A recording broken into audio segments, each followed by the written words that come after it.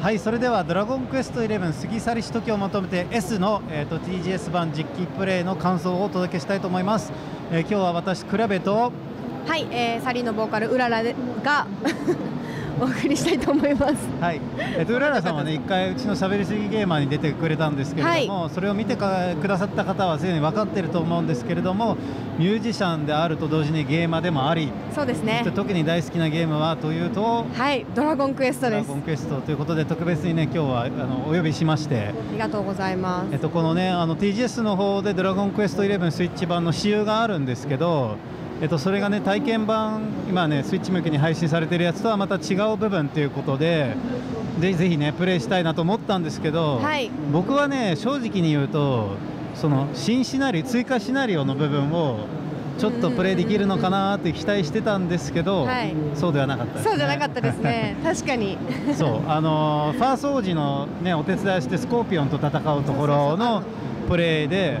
えっとまあえっと、僕は体験版をすでにやってるんですけど、はい、うららさんは多分やってなかったと思うので。そうなんですよ。体験版やってなかったので初めてスイッチ版を今日触りました、はい、どうでした？いやなんか全然なんか私あのスイッチの方が PS4 よりちょっとこう動きとかあんま綺麗じゃないのかなみたいな若干思ってたんですけど全然遜色なくて、違和感なく普通に動かせたので、楽しんで遊びました。もうプレステ4版と EU を比較してももう違いがわからないぐらいですそうですね。そんなに多分並べたらあれかもしれないですけど普通に今遊んだ分には全く何にも思わなかったですね、僕もねあのこの前に8月にゲームズコンというドイツのイベントで同じパートをすでに1回遊んだんですけどその時にはねいろいろと「ポップアップとかあの植物とかが遠くで見えなかったりとか気になったんですけどその後にね体験版を今10時間ぐらいもすでに遊んでるんだけど本当にそれこそ遜色ない出来で動きもスムーズだしフレームレートの低下もないし、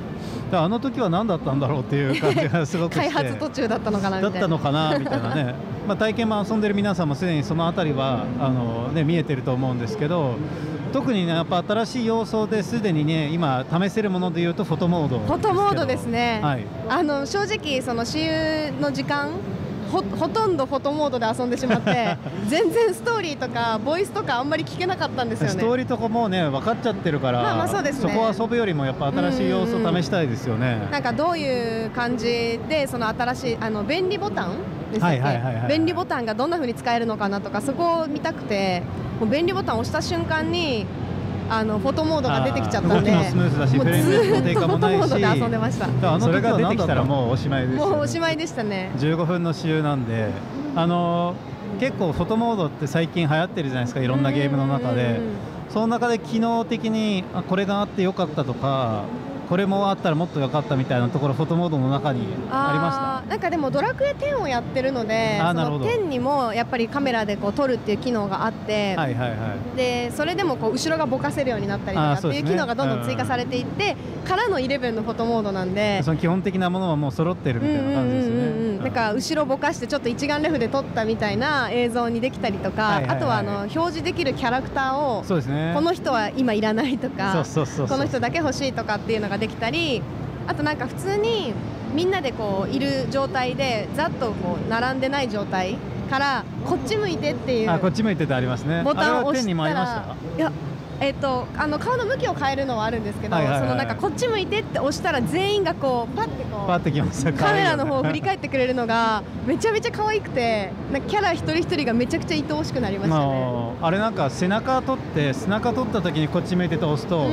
うん顔だけこっちに行くから、ね、それも結構なんかちょっと若干振り向いてる感じでかっこよかったりとかそうそう。面白かったですあと僕が基本的にあの好きだったのが並び直しっていうコマンドがあってそしたら自分の好きなところに配置できるんじゃなくてランダムでどこかに立つので、うん、あここ意外といいじゃんって自分では思いつかなかったけどここに立ったら結構いい絵になるじゃんみたいなのもあって、そうなんか私並び直しって順番が変わるのかなって思って押したら、その立ち方が変わったんですよね。なんか主人公を中心にして周りにメンバーが立ったりとか,、なんかフォーメーションが変わったんで結構面白かったですねそれも。ね可愛らしい感じですよね、うん、いろんなの押しまくった。あと僕はね今回の、えーと、私有版で僕 2D の方を選んだんですよ。そうなんだ、はい、なぜかというとえっと、3D の方は体験版で遊べるんですけど、うん、2D は体験版には入ってないんですよ。なので 2D の方がね 3DS 版にもともとあった要素が大画面で見たらどうなるのかっていうのはすごい気になってたのでなんかねあのその今そういうスーファミ世代ぐらいのビジュアルのゲームを大画面で見ることってもうあんまりないじゃないですか。うんうんそれが見られたっていうだけでも結構感動的だったし。あ見ればよかった。ミスター。あの切り替えられないからねでも。一回どっちか選んだら。そうそうやればよかった。あと気になってたのが今回ボイス入ったけどさすがにあの 2D の絵にボイスが入ったら違和感あるだろうなと思ったけど、ボイスはなかったですね。ああそうなんですね。多分ボイスは 2D の時は入らないようになってるんだろうなっていう。もう本当にその昔ドラクエやってた人が楽しめるようなもう昔のドラクエの形ってことですよね。3DS 版やりました？3DS 版も一応やりました。本当ですか？けどあの PS4 版の方ががっつりやっちゃったんで、あんまりやってない。んですけどあのすれ違い中心で過去作に戻れるやつあったじゃないですか。あれが入ってるのであれはあの 2D でしか遊べそうこの人と会った時にねそこでしか遊べないので、そういう意味では 2D もすごく遊びたいし。そうでもなんか 3D であの私やったらこいついたんですよ普通に、でえ 3D 版にもいるんだと思って話しかけたらあのあのなんだっけ冒険冒険の書じゃないや。復活の呪文、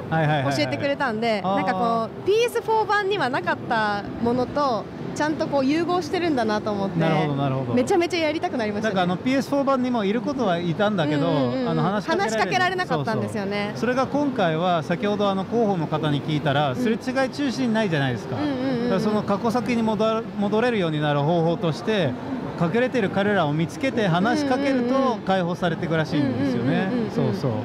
嬉しかったヨッチに会えて。ねヨッチもねしっかりと入れし今回はあのその 3D 版の方でもしっかりと意味があるっていうのも嬉しいですね、うん。うんうん、そうですよね。クルッチかわい。いあとねえっと体験版で言うとあのその縛りプレイもね新しいものがいろいろと増えてて村人が嘘をつくようになるやつがあって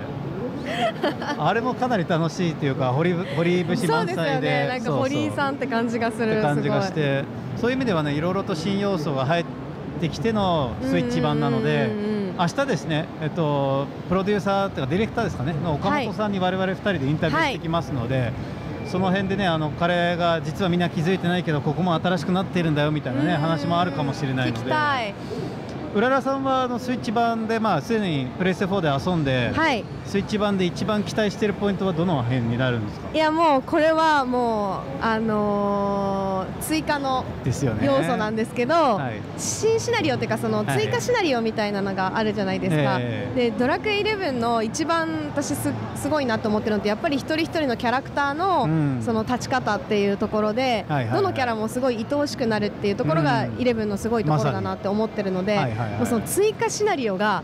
楽しみで仕方ないんですよ、ね、早くやりたい。あれね各キャラクター各パーティーメンバーが主人公となって、うんうん、彼らとして冒険ができるっていうことです、うんうん、一番気になるのはどのタイミングで入ってくるからですよね。そうですよね。全部クリアした後になるのか途中途中でなるのか。私はもうグレイグとホメロスがもうめちゃくちゃ気になってるのでそこが楽しみです。僕はマルティナとかはどういう冒険してたのかとかも気になりますし。ね、本当にそれぞれのキャラクター多分ねもう本当にこうつけられないぐらいそれぞれ魅力的なので、うん、